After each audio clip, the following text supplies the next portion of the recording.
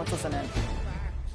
Uh, to give you an update on where we are today, and then we'll take your questions. In terms of the numbers of cases, you see the curve continues to go up, 7195.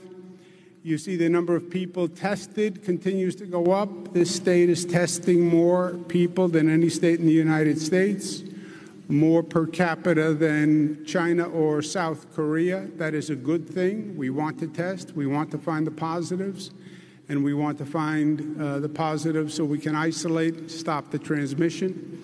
We tested 14,000 people yesterday. The number of cases continues to go up 6984.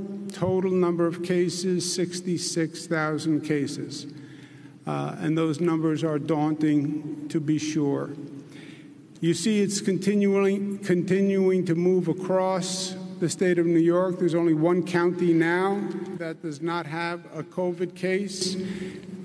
Anyone who says this situation is a New York City only situation is in a state of denial. You see this virus move across the state, you see the virus move across this nation. Uh, there is no American who is immune to this virus. I don't care if you live in Kansas, I don't care if you live in Texas. Uh, there is no American that is immune. What is happening to New York is not an anomaly. There's nothing about it, a New Yorker's immune system that is any different than any other American's immune system.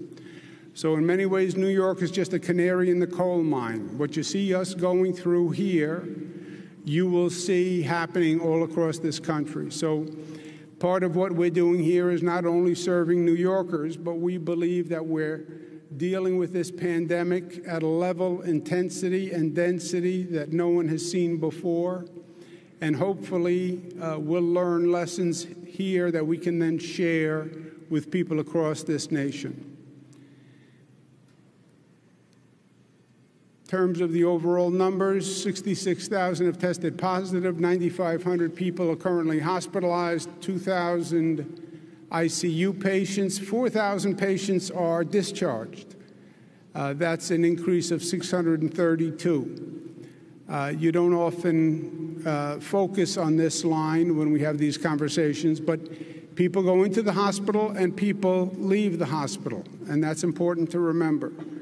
Uh, we've dealt with some really deadly viruses before. We dealt with the Ebola virus. That's not what this is. Uh, most people will get sick. Most people will get sick and stay home and have some symptoms. That's 80%. About 20% will get sick, need hospitalization, they'll feel better, and they'll leave. Uh, it tends to be those people who are acutely ill, have an underlying illness, who have the most uh, most problems.